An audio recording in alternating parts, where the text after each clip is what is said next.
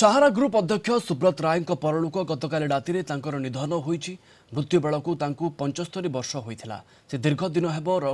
রক্তচাপ মধুমেহ এসহিত মেটাস্টাটিক ম্যালিগনান্সি ভি রোগরে পীড়িত লে মুম্বাইর কোকিলাবেন ধীরুভাই অম্বানী হসপিটালে চিকিৎসাধীন অবস্থায় তাঁর মৃত্যু হয়েছে আজ তাঁর পার্থিব শরীর লক্ষ্ণৌর সাহার চহরকু অণাযাই অন্তিম সংস্কার করা সুব্রত রায় সাহারা ইন্ডিয়ার পরিবারর প্রতিষ্ঠাতা লে ফাইনান্স রিয়েল ইষ্টেট গণমাধ্যম আতিথ্যতা অনেক ক্ষেত্রে তাঁর ব্যবসায় লম্বি লা তেবে নিবেশকঙ্ টঙ্কা ন ফেরাইবাকু নেই সুব্রত রায়ঙ্ বিরুদ্ধে অনেক মামলা চাল এনে তাঁকু জেল দণ্ড বি ভোগবাকু পড়ি पर्सन जो उनसे जुड़ता था उनके साथ उनका एक जो पर्सनल रैपो होता था जिस तरह वो एक एक का ख्याल रखते थे पर्सनली वो ऐसे ही नहीं सहारा परिवार कहते हैं हम लोग हम उस संस्था में छः छः साल टॉप लेवल पे काम कर चुके हैं और आपको बता सकते हैं कि जब वो